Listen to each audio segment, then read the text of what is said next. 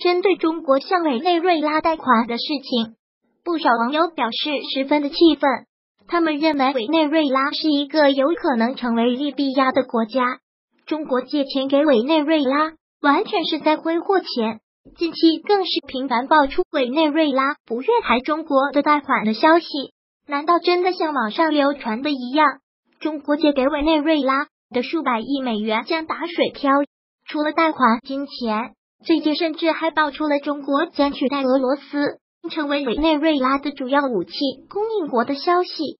这意味着中国不仅需要贷款给委内瑞拉，还需要收武器设备给委内瑞拉。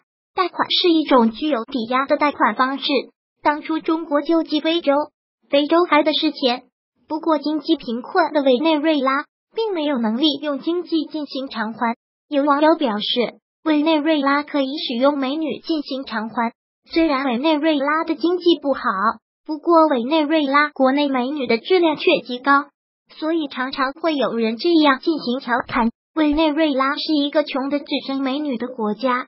虽然后天发育不好，不过委内瑞拉的先天条件却很不错。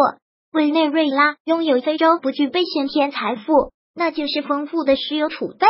委内瑞拉的石油储备占世界第五，不过因为历史因素，委内瑞拉不仅没有靠自己的石油富裕起来，反而成为了一个极其贫困的国家。中国对委内瑞拉进行救援，不仅是一种人道主义救援，其实还是一种友情、友谊、有利的战略互惠。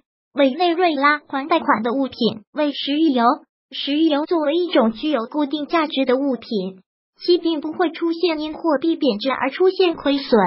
虽然目前委内瑞拉方面正在试图以降低石油价格的方式赚取更多的经济，不过委内瑞拉方面并不敢通过大量的降低石油价格，以此来获取更高的出口量。如果喜欢本视频，请分享并订阅本频道，别忘了按赞哦。